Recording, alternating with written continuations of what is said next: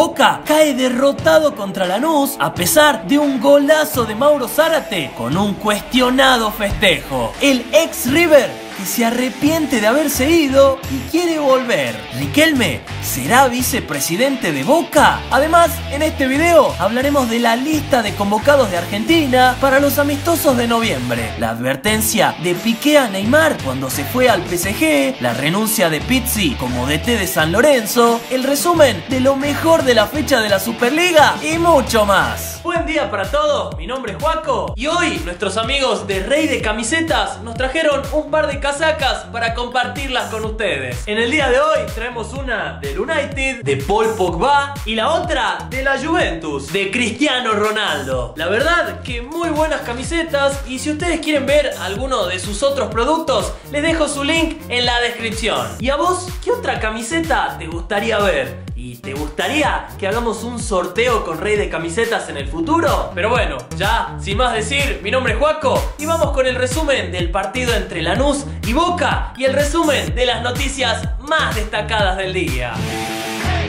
Hoy, jueves 31 de octubre, en el día de Halloween, Cristiano Ronaldo quiso sorprender a sus compañeros de la Juventus con un disfraz de payaso. ¿Y a vos qué te pareció la ocurrencia de Cristiano? El que no disfrazó su opinión fue Gerard Piqué, que se sinceró con lo que le dijo a Neymar cuando firmó con el PSG por 220 millones. ¿Hay alguna opción de que Neymar acabe vistiendo el Barça? ¿Crees o te gustaría? En el fútbol puede pasar de todo y con los años cada vez creo que, que se demuestra más. Eh, a partir de ahí, pues bueno, pues la situación es la que es, ¿no? Ney en su momento, nosotros lo dijimos, eh, te vas a una, a una cárcel de oro, ¿no? Eh, pero, pero bueno, veremos, en el fútbol puede pasar de todo y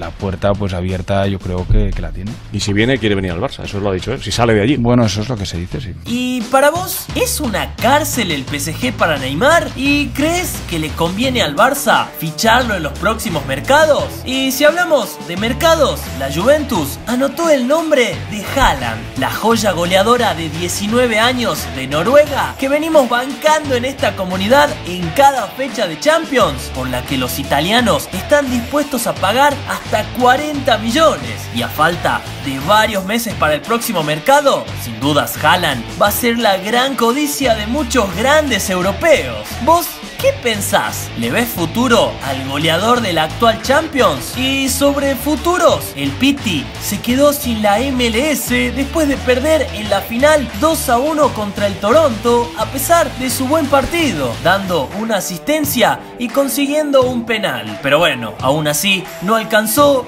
y él y el Atlanta United terminaron afuera de poder repetir el bicampeonato. Otro que quedó afuera, para sorpresa de algunos, fue Juan Antonio Pizzi, que después de la dura derrota de San Lorenzo ante Defensa y Justicia, presentó su renuncia como entrenador después de solo 13 partidos, con 5 victorias, 2 empates y 6 derrotas. Ahora, en su reemplazo, suena Ariel Holland, Sebastián Becasese y el Pipo Gorosito, que no pasa un buen momento con Tigre en la B Nacional. Nos confirmó, bueno, eh, poco lo habíamos hablado ayer en la noche y hoy ya lo terminamos de definir en el día, en el transcurso de la mañana, que, que no- no va a seguir a cargo del plantel, así que una noticia que, que nos pone tristes porque habíamos apostado mucho. Pero además de esto, San Lorenzo fue noticia por una apretada de la barra a unos hinchas en la platea que cantaban contra la dirigencia. Y tras esto, arrancaron las especulaciones en contra de Lamens, el presidente del Ciclón, acusándolo de mantener a la barra para que lo defienda. Jamás una, una dirigencia como la nuestra tendría ese tipo de iniciativa. Me parece que, que primero que, que es una, una canallada para hacia los socios. Y, y segundo me parece que es una, una, una- torpeza y una y te diría una, una inmoralidad. ¿Y vos cómo ves a San Lorenzo? ¿Crees que la dirigencia es la culpable de este presente? Y si hablamos de dirigencia, Juan Román Riquelme, que está entrenando con todo para su partido despedida en diciembre, sorprendió con la noticia de su posible candidatura a vicepresidente de Boca para el partido del oficialismo, según el diario Le. Una jugada que de ser confirmada sería una gran estrategia de Daniel Angelesi para sumar los votos que le den la victoria a su partido político. ¿Y para vos? ¿Podrá Riquelme, si ganan, ayudar a Boca a conseguir la ansiada Libertadores? ¿Y crees que será fundamental en la convocatoria de nuevos jugadores en los mercados de pases? Y sobre convocatorias, Lionel Scaloni presentó la nueva lista para los amistosos contra Brasil y Argentina en noviembre, en donde la gran novedad es la vuelta de Lionel Messi, el Kun Agüero y Esteban Andrada. La primera convocatoria a Nehuen Pérez, el defensor ex Argentinos Juniors y la continuidad de Marcos Rojo, muy cuestionado por algunos hinchas. Y para la sub-23 aparecen varios nombres en aces, como el de Nicolás Capaldo, Alexis McAllister y Manuel Rojo, el arquero juvenil, junto con el nombre de Matías Aracho de Racing. ¿Y a vos te gustan estos jugadores convocados? ¿Quién crees que falta y quién sobra para vos? Una lista sin jugadores de River, debido a la final de Libertadores a jugarse una semana después de estos amistosos.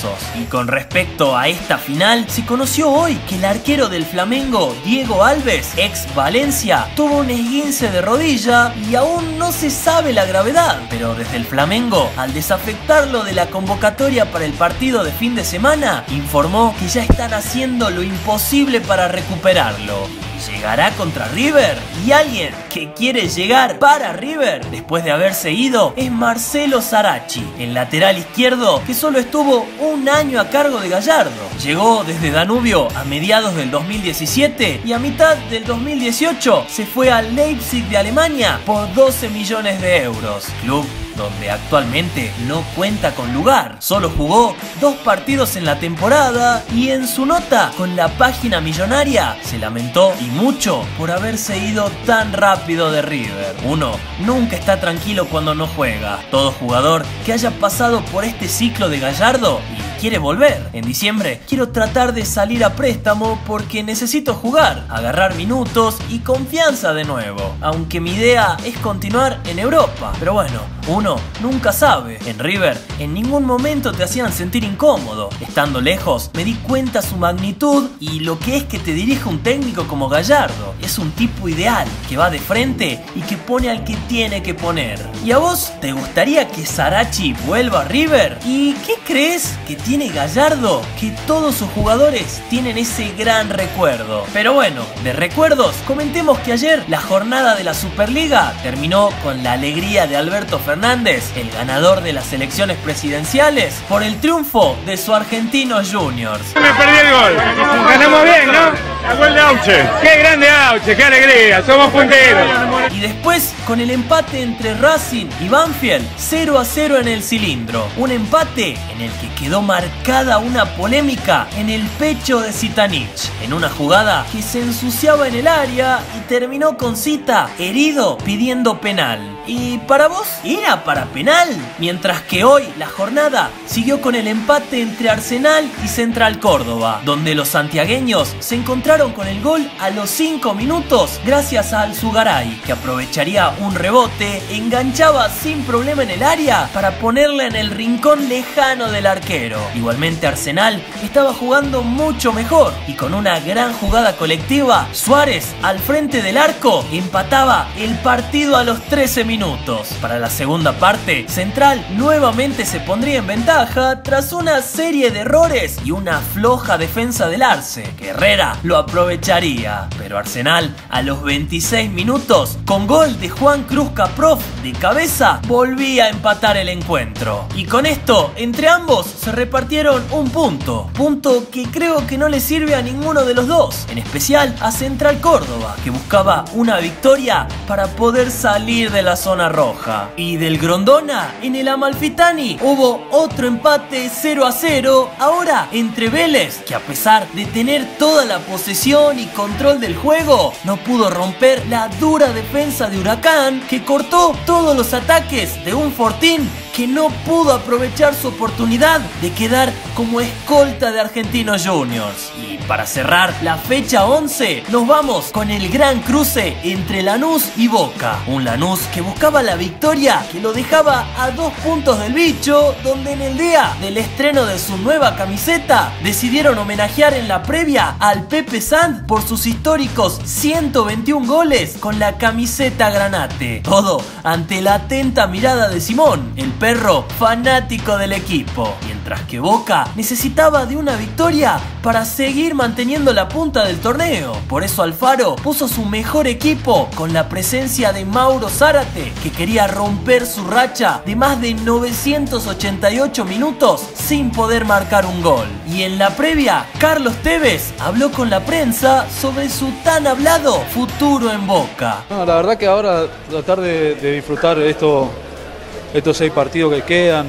eh, yo ya dije mi, postura. Es importante que la gente de Boca se quede tranquila, que, que uno va a hacer lo, mejor posible para, para el club y, y lo que el club decida va a estar bien. Uno siempre está a disposición y, y después eh, seguramente cuando pasen estos seis partidos descansaré mi cabeza también, pero no es momento de decidir nada. Y para vos, ¿qué hará el Apache? Pero bueno, del futuro de Tevez, vámonos con el partido, que antes de los 10 minutos, el Granate ya hacía la diferencia en la cancha y con un gran centro al Pepe San, que en soledad usó su cabeza para clavar su gol número 123 ante Andrada. Y con este gol, Lanús se agrandaba, en especial Moreno, que a los pocos minutos reventó el travesaño de un potente remate. Aún así, Boca intentaba levantarse para empatar rápido el partido, pero en cada uno de sus intentos había del otro lado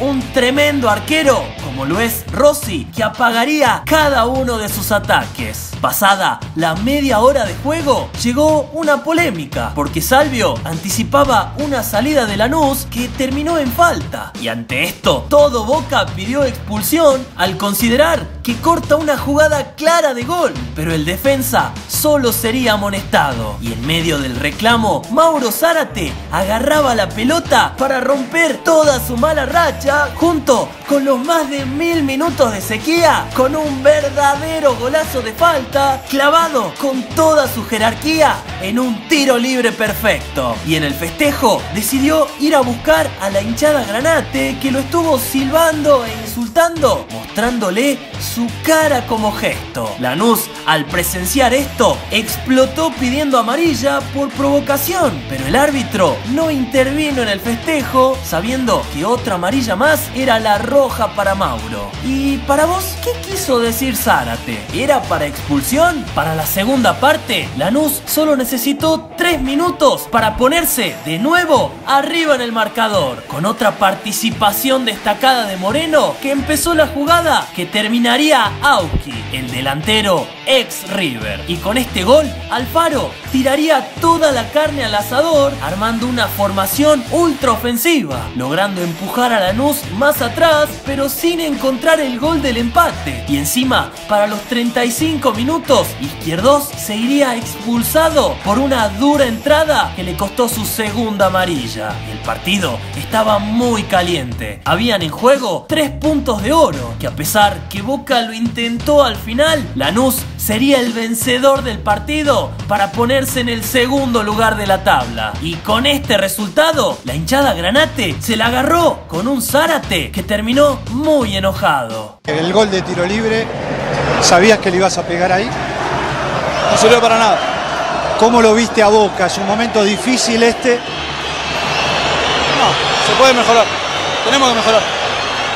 Todavía hay aire para anímicamente golpeado el equipo. obvio, obvio. Esto es Boca, tenemos que mejorar. Y con esto terminamos el video de hoy lo que importa acá es vos. ¿Qué opinás? ¿Qué te pareció el partido? ¿Quién se lo merecía ganar? ¿Y qué te pareció el partido de Mauro Zárate? ¿Crees que está recobrando su más alto nivel? Y la última, ¿quién fue para vos el mejor equipo de esta fecha 11? Decímelo en la caja de comentarios, en lugar del debate, donde no podés faltar. Y no te olvides de suscribirte a este canal donde vivimos el fútbol y la vida día a día. Y si querés ver el fútbol argentino, te recomiendo contratar Now Express para disfrutar al máximo del deporte desde cualquier lugar donde estés. Mi nombre es Juaco y nosotros nos vemos mañana en un nuevo video. Nos vemos y chao.